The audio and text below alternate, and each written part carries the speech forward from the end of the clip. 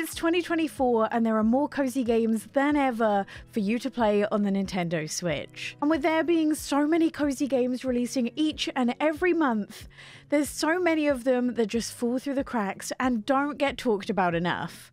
So today I'm going to go through some underrated cozy games that I think deserve a little bit more love. Now, the first few cozy games we're going to cover are some of Nintendo's first party titles, because for some reason these games often get missed out on best cozy games lists, and these are actually some of my all time favourite cozy games, so we're going to quickly talk about them. First up, we have Luigi's Mansion 3, and this to me is actually one of my favourite puzzle games of all time. But the thing I love about Luigi's Mansion is the fact that you never really feel like you're solving puzzles. You just feel like you're playing a really enjoyable game and it almost tricks you into thinking, which I actually really enjoy and this will see you play as Luigi, who tries to rid the mansions of ghosts and try and save his friends after a vacation gone wrong. These puzzles are unlike anything I've played before, they're honestly so creative, and you even get a goo version of Luigi that can pass through like grates, and this just adds another layer to each of the puzzles.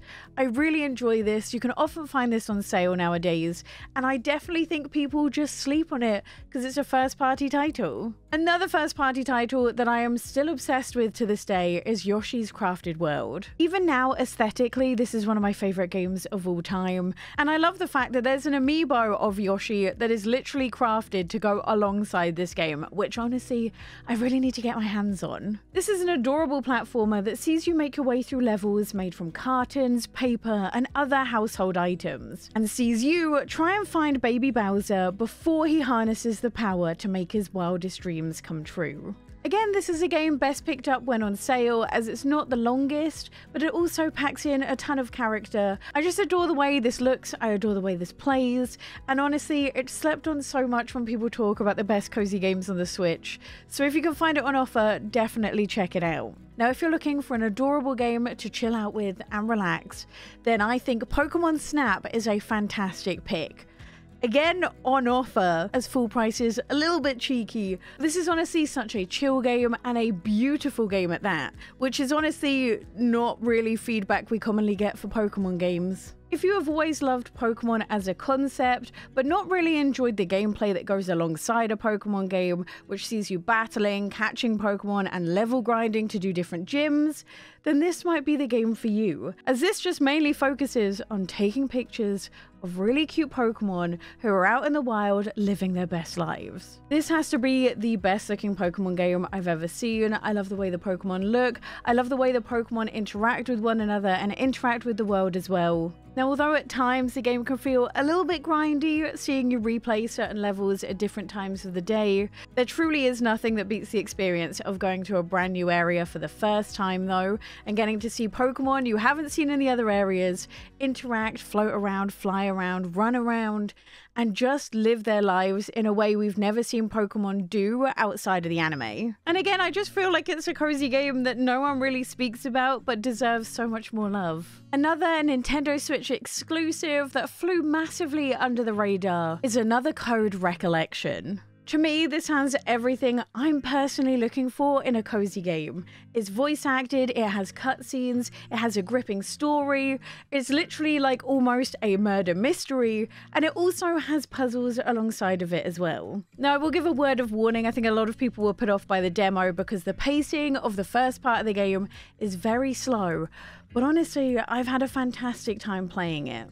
In this, you play as Ashley, who, after getting a letter from her father, who she had long believed to be dead, she sets off in search of him. But this search is not an easy one. And not only does the game have a gripping story, but you'll also have to face and combat different puzzles as well. And although these puzzles aren't all that difficult, they are a lot of fun to do.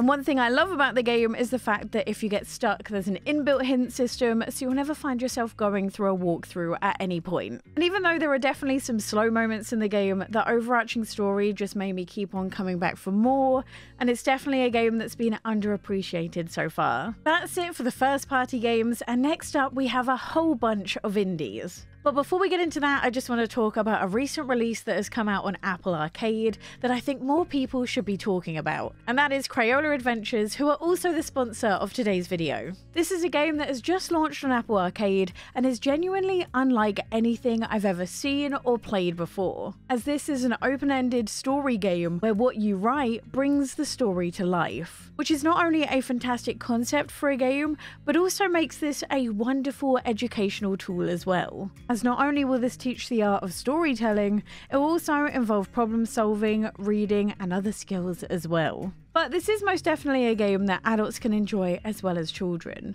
as the only limit to the story itself is literally your imagination. But not only do you determine the narrative, you're also free to explore the levels, colour things in, draw on them, and even customise yourself. And the best part of this being an Apple Arcade game is the fact that there is no microtransactions in it whatsoever. So even though you can play this on your phone, it doesn't feel like a mobile game at all. Be sure to click the link in the description box down below if you're interested, and thank you again for sponsoring today's video. The next cozy game that I think deserves so much more attention than it got is Bandle Tale. This is the first cozy game I've played in a while that just feels like such a refreshing take, and I've truly been having such a blast playing this in my own time. This is described as being a crafting RPG, and although you do need to level up in order to progress in this game, there's no battling or combat whatsoever. Instead, your XP level grinding is done by crafting. But this isn't actually the reason this has stood out amongst a sea of other cozy games that have been releasing recently. The thing that truly made this special was the dialogue. This had to me what so many other cozy games have been missing lately, and that is an abundance of character. There was never any dialogue I wanted to skip, because each line meant something, be it the sock being its unbelievably witty self, be it the characters telling you tales about their lives, or simply some useful information that will progress you in the story. Everything was valuable in its own way, and it kept me hooked throughout the entire game. In this, you play as a Yordle, which you can customize yourself, who is a furry little creature with a love of all things knitting. But one evening, you attend a party that goes drastically wrong, where your actions essentially throw the whole land into chaos, as the portals that are used for transportation across the world collapse. And now you've been separated from all your friends, you set out to try and fix them. Now, the one thing this game is not is a handholdy experience. This is made by the same people who made Graveyard Keeper, so there is a large focus on the skill tree element, which is absolutely massive, with I think four different skill trees for you to unlock different abilities for, and sometimes it will feel a little bit grindy to get the experience you need in order to unlock something that you need to progress the story. I like to say this is akin to Stardew Valley, where it kind of gives you the absolute basics, but then doesn't tell you much more than that and kind of leaves you to figure it out. Like a big aspect of the game is throwing parties in the different areas that you're at, because apparently Yordles are pretty good at that. And I definitely found myself looking things up in order to help me get the best score on the parties. Hopefully by the time you guys are picking this up, there'll be a little bit better of a wiki situation, making it easier to Google things you're stuck on. But I could truly say I've had a blast playing this. This feels like such a refreshing take on the cozy genre, and I've been having such a good time playing it. Next is a game that you guys have been asking me to check out for the longest time, and I'm so glad I finally did. And that is I Was a Teenage Exocolonist. It took me so long to say that word right. So long. This is a narrative RPG where all the combat is done through card battles, and where the choices you make truly matter.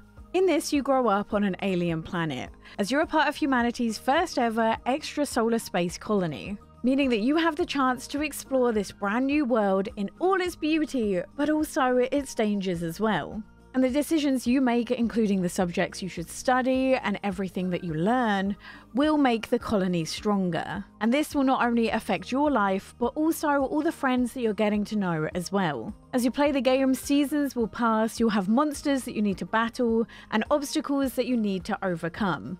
And sometimes the challenge is to just stay alive. But the truly unique part of this game is that replayability is the entire point, as each of your previous lives you have lived has a meaning beyond death, as every single thing that you do will transfer into collectible cards, which you can then use in your next life. And with over 29 endings to discover, you can figure out exactly how many lifetimes it will take to save your colony. I am literally so sad it took me so long to discover this game, but I'm so glad you guys recommended it.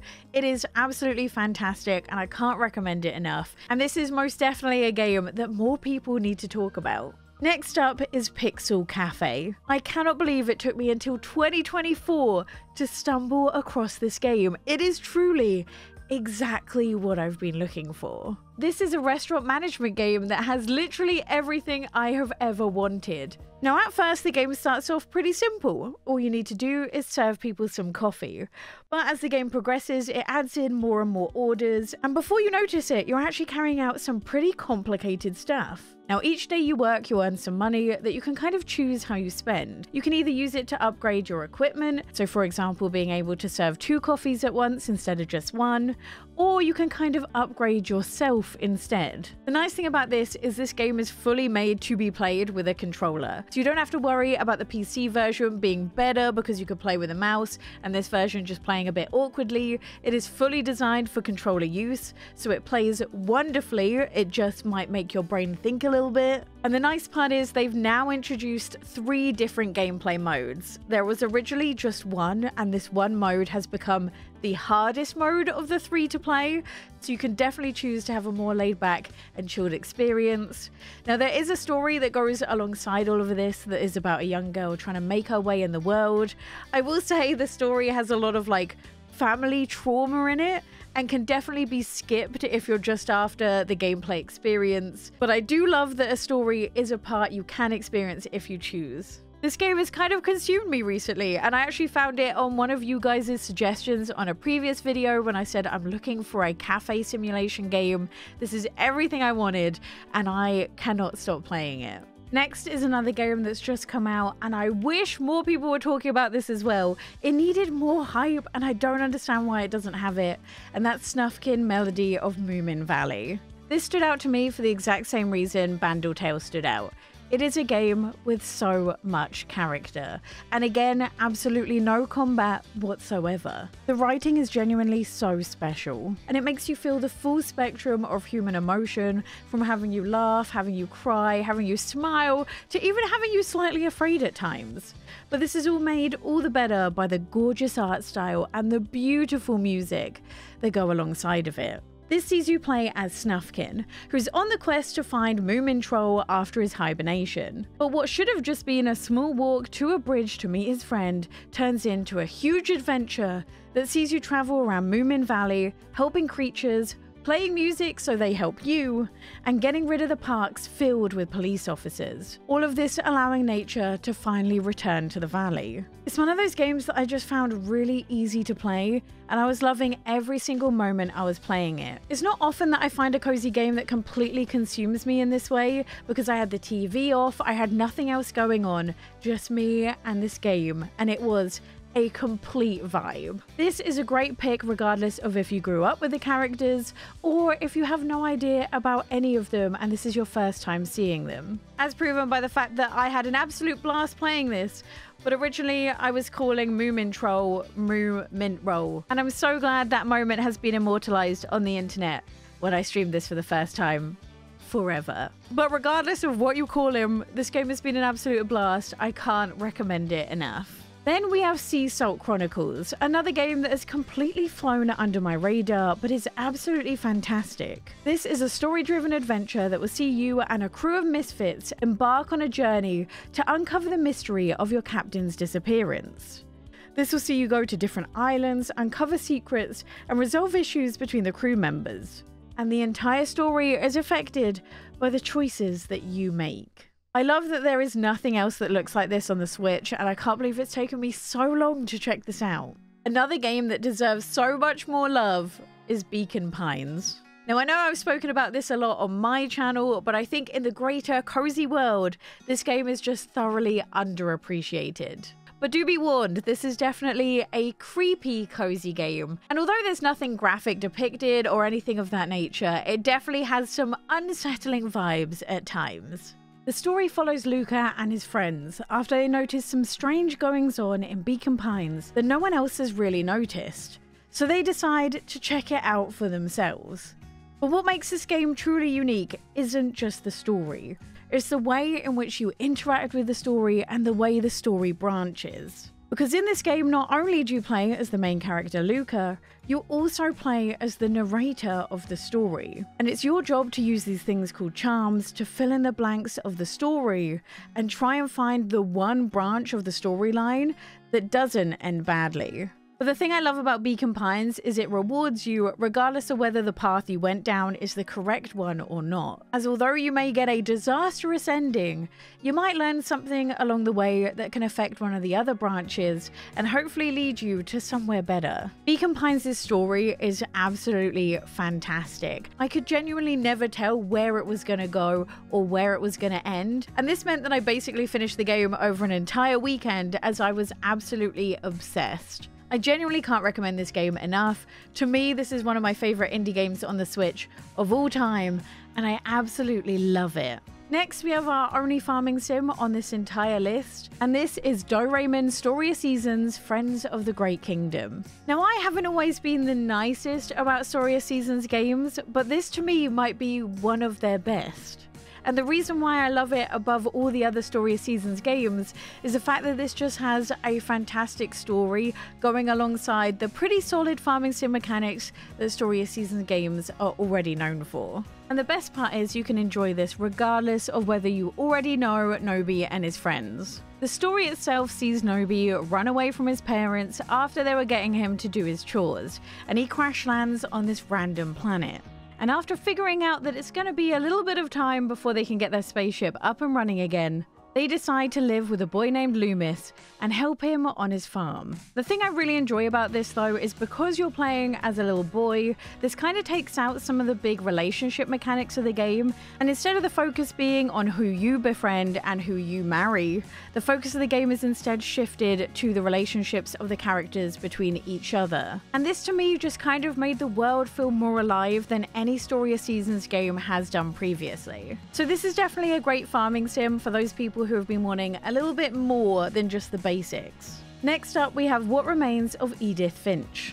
Now, this is another game for cozy gamers who don't mind a little bit of creepiness, as this is a first person narrative experience with similar vibes to that of like Firewatch. This is a collection of stories that tells the tale of a family in Washington state. And the magic of this game is in its storytelling, where each story focuses on a different family member, and the way the story is told is uniquely tailored to each of the family members. This is such an experience, and one I'm so sad I've never spoken about before. And although it's based around sadness, it truly has some beautiful moments. The final game on today's list is Ooblets. This is one of my favorite cozy games of all time, and I truly feel like not enough people talk about it. Not only do I love this game, it is also incredibly good value for money, as they just seem to be adding more and more in free updates. Ooblets is a cross between being a farming sim, but also a monster taming game. But Ooblets really took the cozy approach to battles, and instead of it being like actual physical battles,